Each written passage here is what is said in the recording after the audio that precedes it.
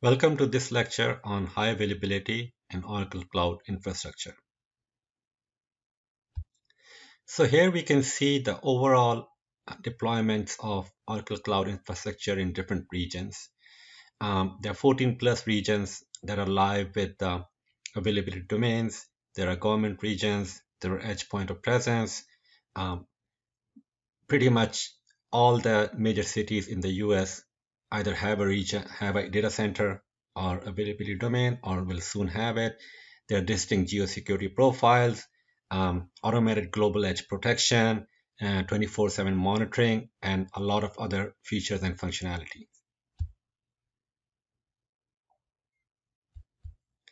So in the previous slide, uh, we looked at the region's distribution across the globe. Uh, a region is the top level component of the infrastructure. Each region is a separate geographical area with multiple fault isolated locations that are called availability domains or ADs. An availability domain is the subcomponent of a region and it's designed to be independent and highly reliable. Each uh, avail availability domain is built with fully independent infrastructure, buildings, power generation, cooling, and network connectivity. So the ADs or availability domains are physically separated from each other. And that by default then provides protection against any kind of natural or other disasters. So as we can see from region 1, region 2, and region 3 uh, diagram here that uh, some regions have multiple ADs and some new regions are coming online with one AD for now, but additional ADs will be added. So in this in this slide, if we look at region 1, which has three ADs, these three ADs within this region 1 are connected using a secure high-speed, low-latency network.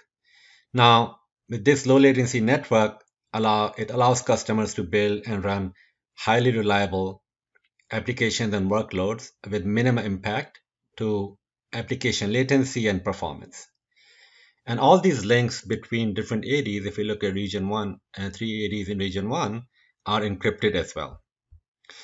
So in this scenario, we can see that a customer can choose to deploy their application across multiple ADs, for example, in region 1, thus getting uh, very highly available applications.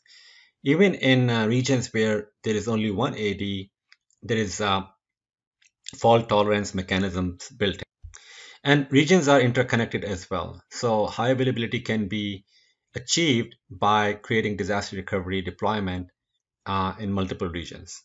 So if we dig a little bit deeper into each AD, uh, what's going on within each AD, which is actually a physical data center.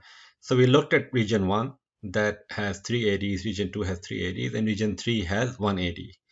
Uh, within that AD, each AD we have fault domains.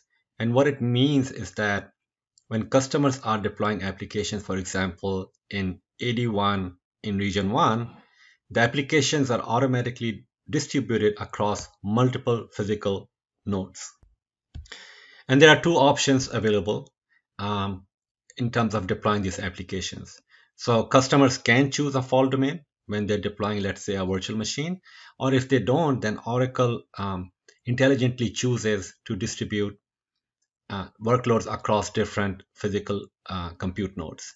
So in this case, if a compute node goes down, not all applications go down with it because they are distributed across multiple physical nodes. So to recap, in terms of high availability, we can see there is a very large footprint in terms of regions across the world that are covered with physical data centers that Oracle Cloud Infrastructure has deployed. Um, quite a few regions have multiple ADs. Even the regions with one AD um, have fault domains, and regions with multiple ADs also have fault domains. So redundancy and high availability is provided not only at the region level, but also at the avail availability domain or physical data center level. So in the next lecture, we'll look at verifiably secure infrastructure for Oracle Cloud Infrastructure.